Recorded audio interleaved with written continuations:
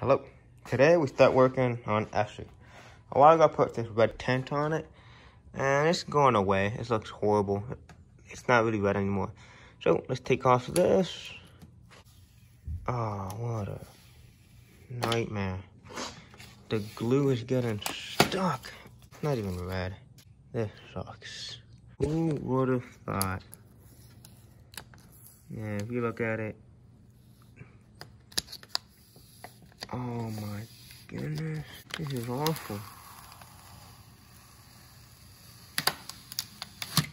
it's a little bit red. Ta-da. Not very happy with the glue. And then this side, I will not take the tape off. Instead, I'm putting in this new baby. Swap them. Ew. Dude, that is incredible. I missed this so much. What we're doing is taking the coilovers and the rear adjustable upper arms. Wheels are off, car's jacked up. And now, take out those two nuts. Dude, these things were loose. I'm gonna try to do this one by hand. Oh my, dude, they were loose already. That's awful. Both nuts are off. Next is this upper control arm. So first I'm gonna start by undoing this big old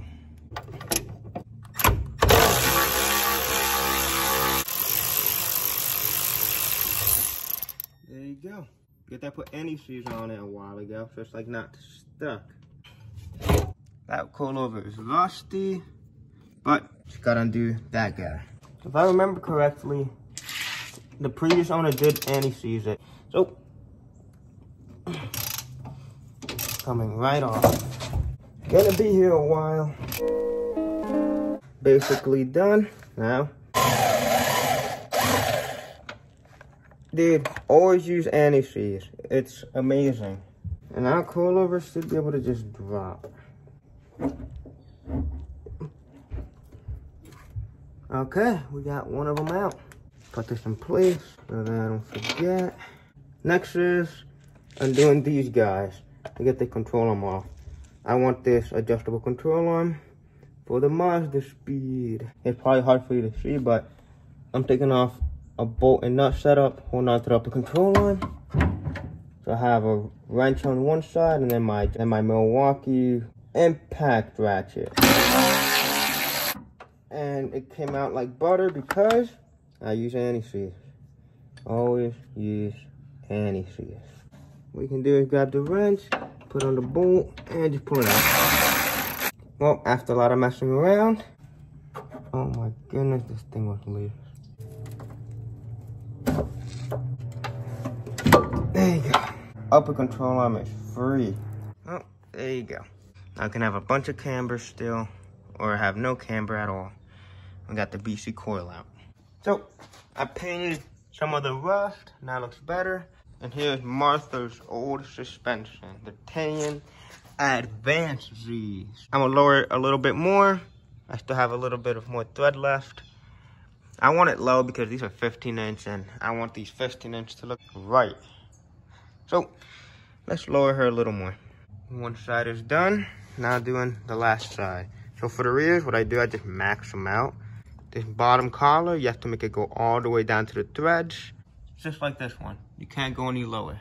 All right, all coilovers are adjusted. The rears are maxed out as low as they can go. Fronts, I lowered them about two, three wrenches. I just measured it like that. But I'm happy with that. Upper arm is on there. Not fully bolted, but it's in. Now I'm on to this part. So, coilover's out. Got the tie rod loose. Look at that. Now I'm gonna use my ball joint tool to blow it out. Oh, doesn't want to blow out. Must be very rusty. You see how it works? It lifts the knuckle up and it's forcing the tie rod down, causing it to separate. It can get really tight and it can make a loud bang. Oh my God. In real life, that was pretty loud. There you go. Now, it's free. I can loosen this, loosen the nut. Ow! Great. All right, well, there you go. Tie rod is free. Next is, we've got to undo the lower ball joint and the upper control arm. Get this out. There you go. Now we're gonna do this. Upper control arm, I loosened the nut. Now it's time to make an explosion. Get your handy dandy tool. Another way you can do it, which is the, the old school, like the normal way. Get your hammer, smack the knuckle. The vibration from the knuckle will make cause it to break loose. I don't feel like hammering it and spending however long it takes. It might not take long, it could. Depends. Hopefully it doesn't just shoot at you guys. Oh god. Not bad. Look, that wasn't so bad. Just a little baby poop. Now I'm gonna do the blood bar joint. Before I even try, I'm gonna grab my brake fluid and put it in there. In, in case you guys don't know, it's a better lube than WD-40 and PB Blaster. It's gonna steer. Yeah, put your tie rod on. Now the way I do it is I give it a solid kick. Hopefully it breaks it loose. Oh my god. There you go. Got it going. Holy shit. Got it. Wow. Well, guess what? We won. Oh yeah. Alright, get ready for a big boom. This is the one you guys been waiting for. There was one time when I was doing this, and when I was tightening it, it didn't go boom. It shot this. Scared the crap out of me. It, it was just good it went by so fast. Are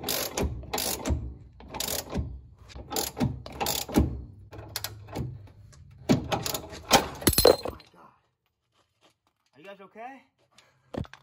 Now I tighten the lower ball joint. I'm taking these ball joints because these are extended ball joints and it adds a little camber. Loosen the nut.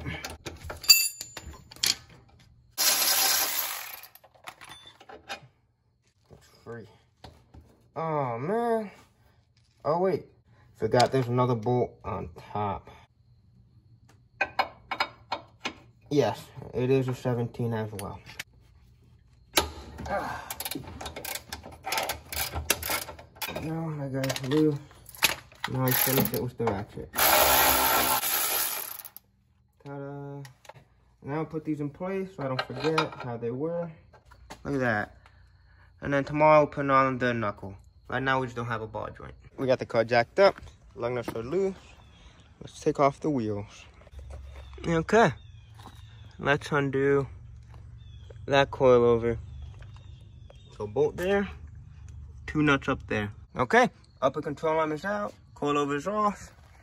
Look at that. Now I put these beautiful babies in. So, let's swap them.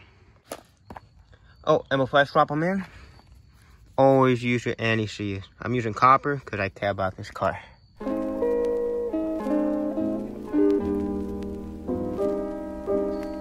Okay, all tightened up. I put anti-seize on the bolts. I yeah, I put anti-seize on almost everything. Even that bolt down there, I painted it so it doesn't get too rusty. One rear is done. Let me put the wheel on. A whole nother day later. Alright, let's take off the front wheel and start undoing that suspension. Okay, so far, we got the outer tie rod loose, ball joint nut is out. Now we're gonna do the shock bolt or the shock mountain bolt. So far, everything's been coming off pretty easily. Not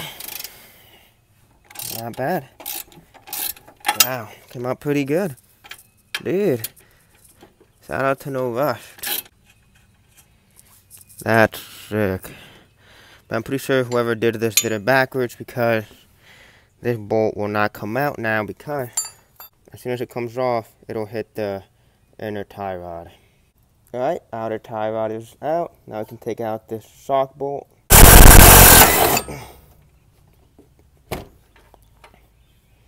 Oh, there it is. We're gonna put anti-seize on it. After hell, finally got it out. This thing is just long. That spring isn't really, it doesn't compress too much and it's very soft. I got it out. God, what a nightmare. But look at that. That one should pop in a lot easier. It's all in, all together. New BCs. I painted over there because it was a little scratched. I don't want it to rust. Put anti-seize on everything down there. New tie rod is on. I left it loose because I still need to do I need to do a little DIY alignment. But let's put the wheels on. Okay, all jacked up. Put the wheels on. Let's drop it and see what the end results look like. All right, so jack her up. Let's see what happens. Okay, there you go. Not bad. Hey, look, the wheels like in. Oh, yeah. Right now it's not that low because on wood, so we've got to roll it back. But finally, one side is done. And here, you got to put one one coilover in there, and same thing here. We got to add the coilovers. Today, dropping the top hatches onto the tans. These don't have top hatch, we're stealing these. So, let's undo that. Let's see what happens. Oh my god.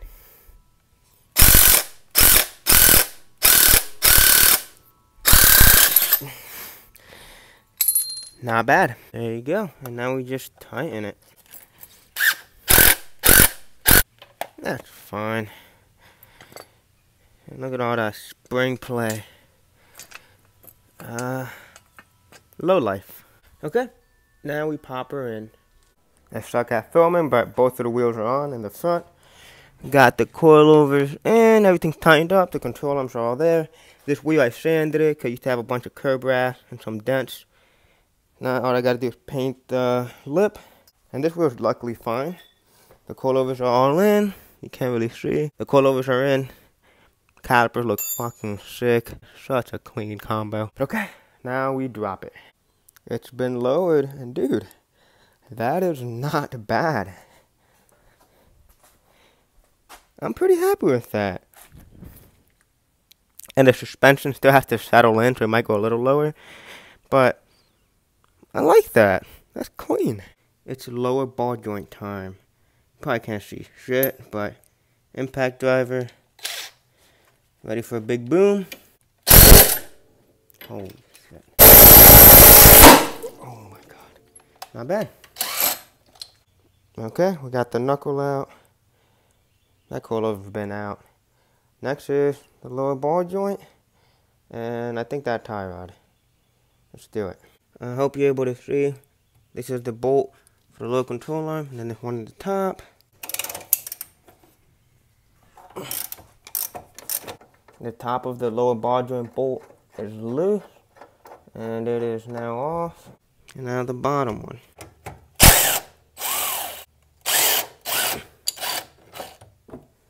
There you go. Lower ball joint is out. We got everything out of here. Got everything out of Esri. We got the BCs there, the cut knuckles there, and how to tie, you know, miscellaneous stuff. Now, time to jack up this one. Put this in the air, take everything off over here, lugging a solution. Now I put the jack. Sometimes, low life is the struggle.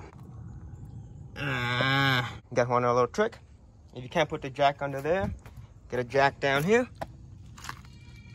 And I've learned, don't jack the tow hook. This tow hook will bend. So jack it right there. Jack it on this piece of steel plate. And now I can start jacking her up with the low profile. And now we delete the wheel.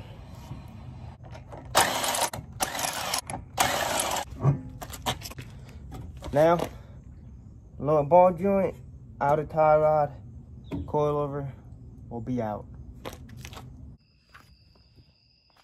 Okay, hours later, BCs are in, the ball joints in, new outer tie rod. We're good to go. Now all we gotta do is slap a wheel on and tighten those two nuts. Okay, so far, got the upper control arm out, the coilover's off. It was not too bad, it was pretty simple. Only thing left is take everything out of here. The adjustable upper and the B3. Let's delete them.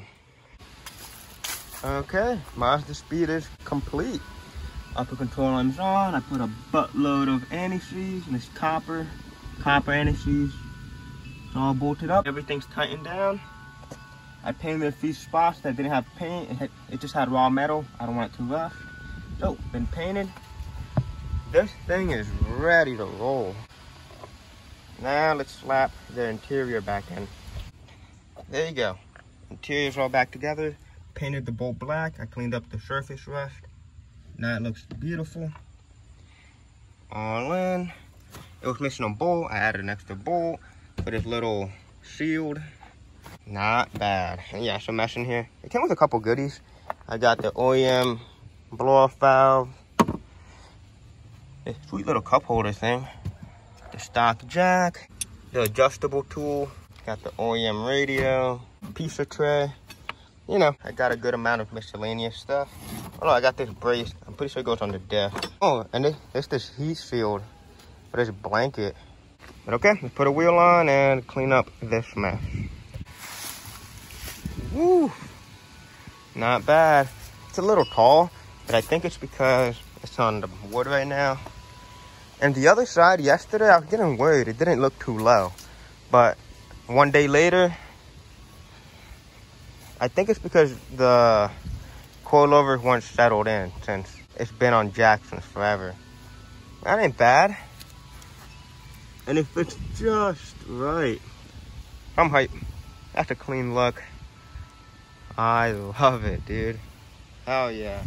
Let's finish up Actually, So I gotta put the upper control line, the coilover, and here, knuckle, ball joint, tie rod, and the coilover. So, I'll be done right now. I suck at filming, but upper control arm is in, coilover is on, I put anti-seize. I repaired the wheel a little bit. I sanded off all the curb rash. Used to look super bad, but now it looks a little smoother and better than before. Now all I gotta do is paint it someday. And the front is all together. Coilover, calipers painted, new outer tie rod, different ball joint, the new knuckle, and the Tein Advanced G coilovers. These have adjustable dampening. Pretty cool. Let's drop this car. Hello. So, all this new suspension is in and everything. All we have to do now is just do a little alignment. The beautiful Mazdaspeed already has the alignment done, and it feels perfect, very smooth. Super hyped on how it came out. I forgot to film this, but here's all we did. We put a, a piece of wood there, a piece of wood on the other side. We have two measuring tapes. You put them across each other and make sure they're both even. Now this side says 72 inches, other one has to say 72 inches. But alignment is good. It looks beautiful. That's it for swapping the suspension. Hope you guys enjoyed the video.